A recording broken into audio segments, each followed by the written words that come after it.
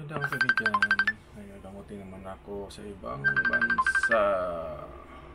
Ta Qatar yata ito. Mas kahina. Hello. Hello po. Oh, magandang hapon. Gandang hapon po. Taga saan ka ba? Qatar. Qatar. Hmm, ang dami mong kulam, no? Ang dami mong kulam. Makita sa mukha mo.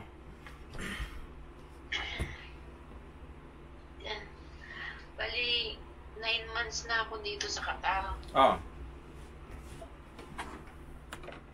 Bago ko, bago ako pumunta dito, Hmm. nagpagamot din ako. Hmm. Yan nga sabi sa akin. Kaso hindi naman ako pwedeng hindi lumipad. Hmm. Hmm. Kaya tinuloy ko pa rin Hmm. Hmm. Hmm. yung unang tingin sa akin. Kasi laging sumasakit yung ulo ko. Hmm. Tapos, yung mga likod ko, Hmm. Mabigat. Hmm.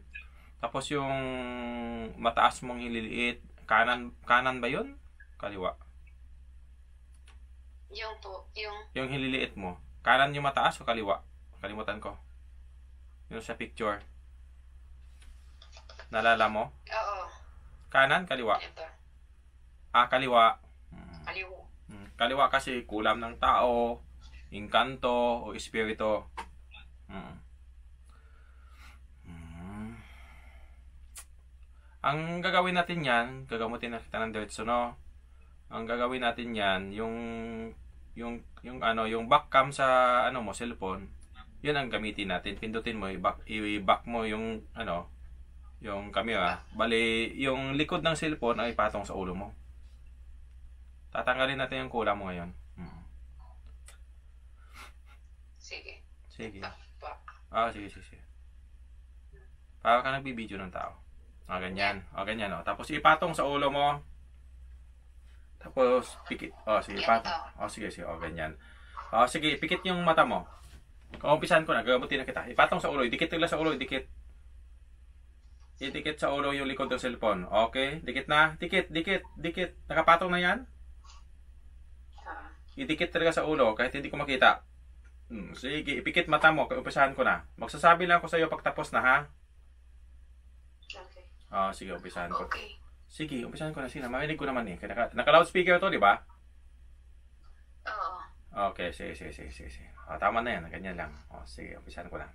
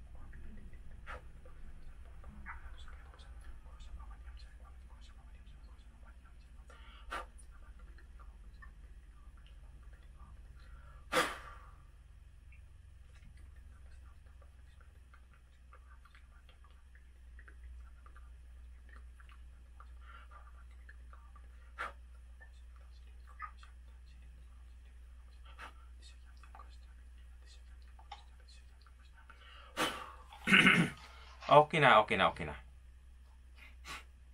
Okay. Okay, na. Hindi mo dinikit sa ulo mo?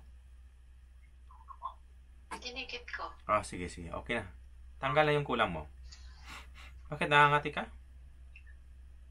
Ano ba yung kumulam sa akin lalaking babae? Hindi, hindi ko alam.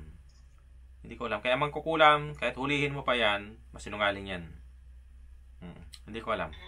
Hmm, Hindi ko alam. Mawala na. Mm mm. Kumusta pakiramdam mo? Silipin mo yung kamay mo, pantay na yan. Alam mo naman yung pagsukat, di ba? Paano? Mm. Pantay na. Ibig sabihin, tanggal yung kulam mo. Ayan yan siya. ibig sabihin, Hmm. matagal na ako may kulam. Oo. Tagal ng kulam. Kung kailan yun nag-umpisa yung sakit mo, kulam yun. Mm. Okay, okay, okay na yan. Pantay na, pantay na. Magaling ka na. Ah, nasaan yung tubig? Oh, okay na yung pag-iisip mo ngayon, di ba? Anong naramdaman mo? Ito, ito, tubig. Ito, tubig ko. Oh, yan, yan, yan. Pagdikit-dikit. Pagdikit-dikit mo. Pagdikit-dikit. Pagdikit-dikit. Tapos ipatong yung cellphone sa ano. Patong doon sa may tubig. Ayan. Ah, pagdikit-dikit mo lahat. Pagdikit-dikit. Idikit-dikit. Yan, idikit-dikit mo. Ah, wag mo nang buksan. Ipatong dyan sa gitna ang ano. I-triangle mo lang. Triangle. I-triangle mo lang. Triangle ba? Triangle. Yan. Pagdikit. Ipatong mo yung cellphone doon sa ano. Sa gitna. I-ano mo. Sa gitna. O kung pwede sa katawan, ilagay mo sa katawan. Okay na? Ah, dyan, dyan, dyan. Oh, dyan, oh, dyan. Umpisahan ko na. Sige na, i-bliss ko na yung tubig. Sige. Sige, umpisahan ko na, no? Magsabi lang ako sa pagtapos na.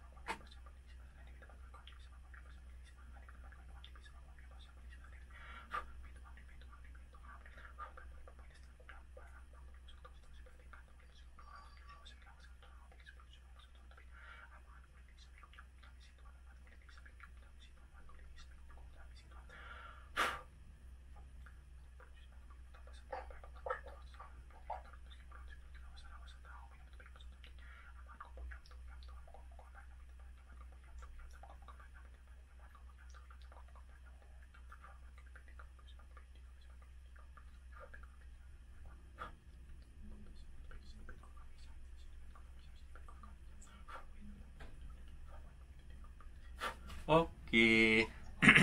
Nasaan na yung langis mo? Eh, sandali lang. Mm Langis, langis pa o epicacent oil yon? Picasin oil. Ah, sige, sige. Pwede na yan. Pwede na yan. Kasi Ayan, pa, kung wala kang, o wala kang oil, yan na lang. Hmm. Ah, sige. I, ano mo lang, idikit mo lang, ipahiga mo lang yan. Tapos idikit mo yung cellphone. Ipahiga mo na lang.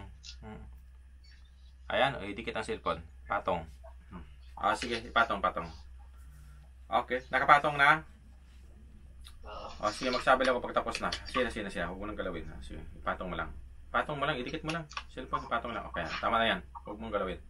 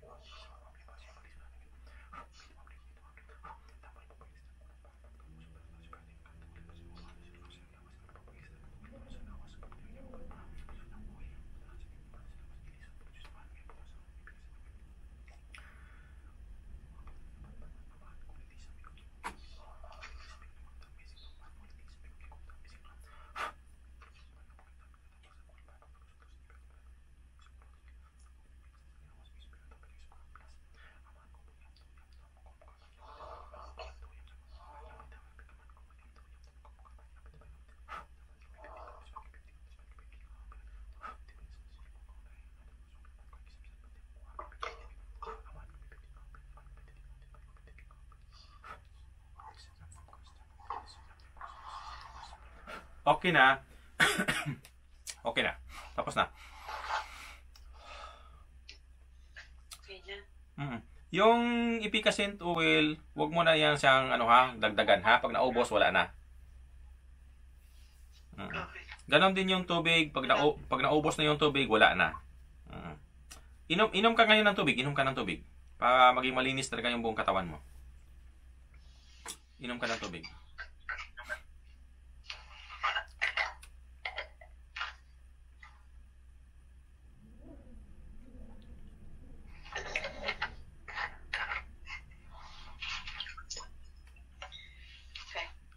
Okay. Anong pakiramdam mo ngayon? Medyo gumaang yung pakiramdam ko. Hmm, ganun talaga kasi tanggal na yung kulam sa katawan mo. Pag nagpantay na kasing hililiit ng tao, tanggal na yung kulam. Lahat na kulam mo natanggal na. matanggal. Mm Hindi ka sana. Mm Tanggal na yan siya. Mm Uh, yun. Yung panglabo ng mata mo, Usapan mo. Yung panglabo ng mata mo, okay na? Naglalabo ang mata mo, di ba? Oo. Mm, yun yun siya, kulam yun siya. Manglapos sa mata, tapos yung ulo mo, parang lagi ka nagagalit. Tapos lutang. Tapos parang magulo yung ulo mo, isip. Oo, yun yun siya. Mm. Okay na yun. Mm, okay na yung sakit sa ulo mo kayo, di ba? Pakiramdamin mo. Hmm. Nag-iba talaga, di ba? Pag natanggal talaga ang kulam, yun, baba-baba yung mga hililiit natin. Mm, ganun yan siya, ang paggamot. Sana nga. Mm, tatanggal yan siya. Maalis na. Oo. Aalis na yun siya pag ano, pag may tiwala ang tao, aalis yan siya. Ganun siya.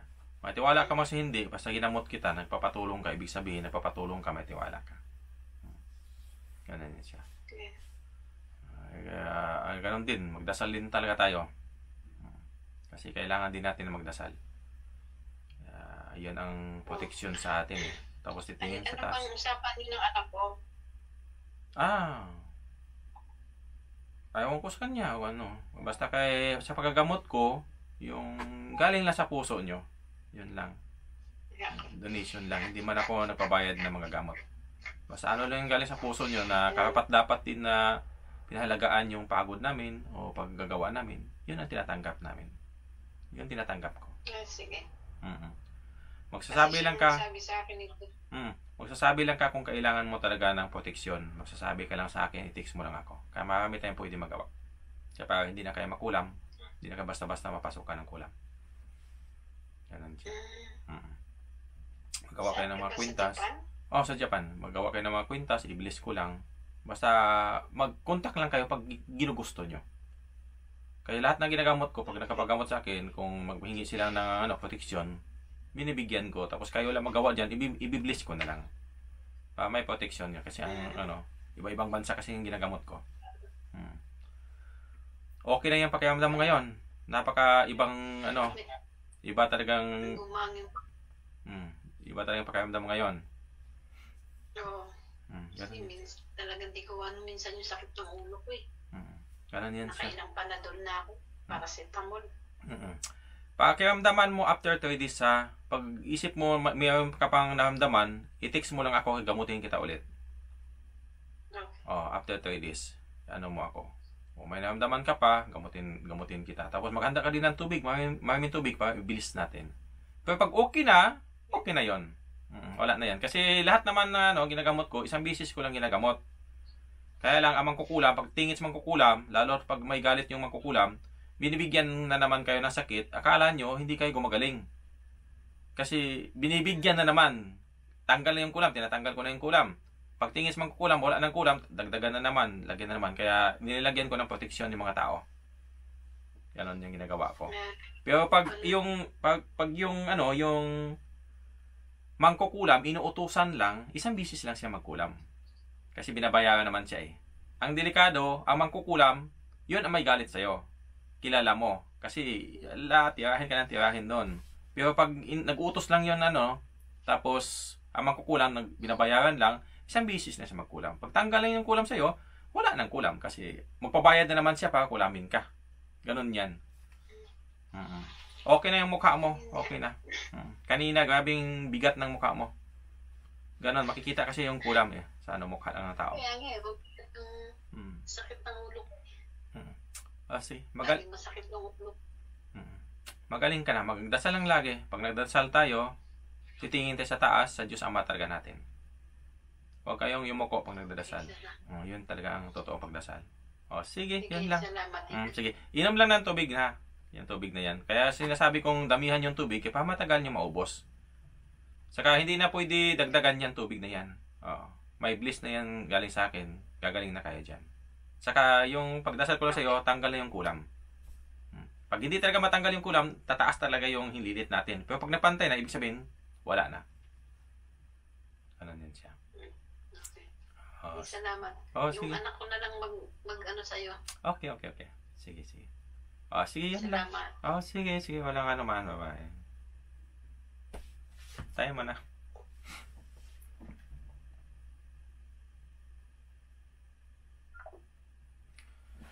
Ayan, mga kaibigan.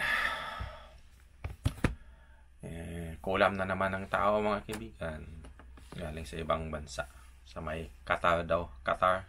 Saudi Arabia ata yan eh. Qatar, ano ba yan? Basta. ah, sa malayong lugar. Ganun mga kaibigan. Kahit saan saan ako maabot sa buong mundo. Maabot ako kahit saan saan. Kaya sa awa ng Diyos Ama, kung nagpapatulong, tapos may tiwala, gagaling naman talaga agad. Kaya lang ang mangkukulam, pagtingin sa mangkukulam, kung kalaban mo talaga ang mangkukulam, pagtingin nila, wala ka ng kulam, dagdagan na naman. Kaya akala ng ibang tao na ginagamot ko na hindi sila gumagaling. Yun pala, eh, binabalikan lang sila ano mga kaibigan po, pag ano, yan, silyuhan lang yung katawan ng tao, hindi na basta-basta mabalikan ng kulam. Saka, lahat, pag napapatulong, gagaling sila sa Diyos Ama natin. Nandasan ng Diyos Ama natin. Kaya, pag ginagamot ko kayo, huwag kayong susuko.